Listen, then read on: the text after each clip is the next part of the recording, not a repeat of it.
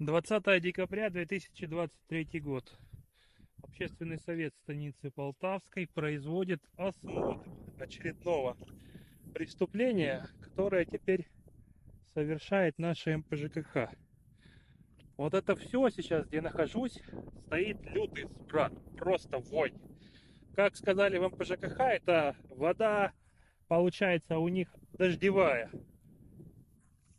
Дышать невозможно. Посмотрите, что это сплошная канализация. Все, тут просто утонули все окрестности. Такая дождевая вода. Вот она. Дождь с говном льет прям с неба. Смотрите, что делается. Идем далее.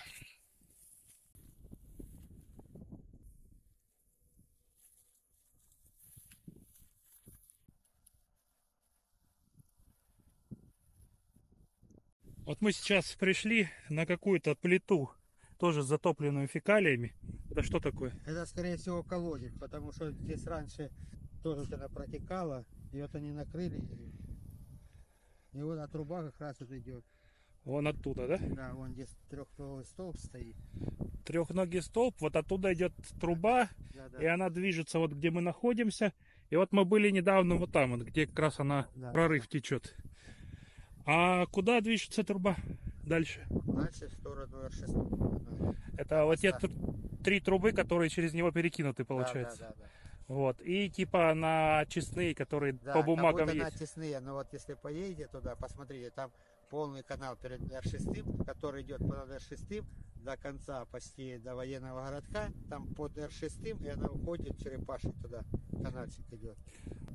Но можно, значит, сказать, что раньше этот канал для чего-то другого был предназначен. Да, да, да, да. А сейчас они его используют, Ну, получается, наверное, туда. как слив канализации. Наверное, вот полный там. И вот порывы тоже возле моста, там страшное поле залито, угол весь. Но никто его ничего не делает. Получается, труба все полностью в негодности. Конечно. Ну, побоже, я обещал же, говорю, два километра я заменил, деньги выделили. Это еще в 87... Да, в 87 году положили здесь трубы асбестовые.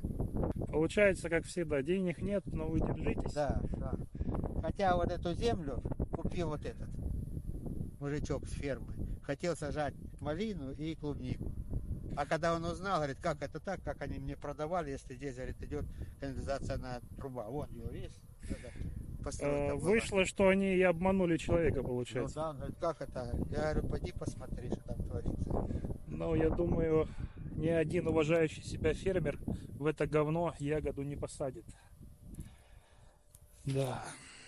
А ведь за это платятся деньги. И платятся немалые. Насколько я помню из переписки в чате, платят 94 рубля за кубометр воды, которую должны утилизировать, имеется в виду канализационная вода, по всем правилам. Но получается, у нас вот это вот такие правила теперь для утилизации. Вылить на поле, списать на дожди, деньги положить в карман. И все. И трава нет. И вот сколько буду идти, оно все затоплено. Здесь сутками выливается. Чуть где низинка образуется фекальное озеро. Здесь просто очередная экологическая катастрофа станицы Полтавской. Это все наша многострадальная станица, в который раз, казалось бы, наведите порядок. Нет.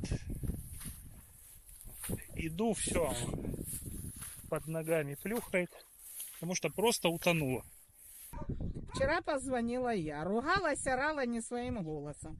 Хотя диспетчер сказала, что к нам никакой Коняев не обращался, и записи здесь нет.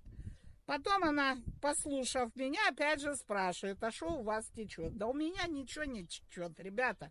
Дома многоэтажные платят за то, что водоотвод оплачивается. Куда деваются деньги? В принципе, если даже поменяют э, канашку, да, то куда она будет все равно сливаться, если очистных сооружений в приоре нет?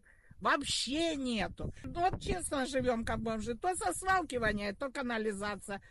У меня у соседей обоих, у обоих есть вода в подвале, потому что она давит, ее же будет давить к речке. Все знают закон физики. Мы свой колодец закопали после того, как у нас вот случилась вода. Год, второй год, третий. Но я здесь живу с 89 года. Эта канализация как была, ее никто не трогал, так она и по сегодня у нас здесь есть. Вот Димка покойный Лобков э, лазил ее постоянно, хомуты навешивал, навешивал, ну уже хомуты, видно, некуда навешивать. Вот оно, как только качнули сильнее, особенно когда качает, э, там насос качает с центра сюда на выброс, оно здесь ручьем бьет аж через верх, поэтому нормально такой запах стоит, хоть повесься. Э, Я не могу понять, сколько это будет еще длиться. Вот Делькову задаю вопрос, по Божьему вопрос, Васину вопрос. Вот скажите, когда перестанете нас травить? Ну дайте нам пожить хоть чуть-чуть. Не возят на свалку здесь говно течет. Здесь туда надо, значит, смотреть. Мы что, так и будем оглядываться? Вот я жить спокойно уже хочу. Мне за этих два года две болячки добавилось на нервной почве. Зачем?